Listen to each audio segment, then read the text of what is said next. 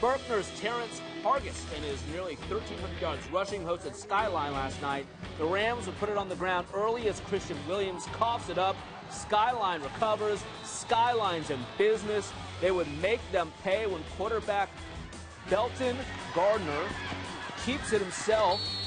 14 yards, Skyline 7 0. Raiders get the ball back and watch this run by Jordan Hudson. This run should have gone maybe five yards. Uh-uh. He's going to bust it for 50 all the way into the end zone. Touchdown.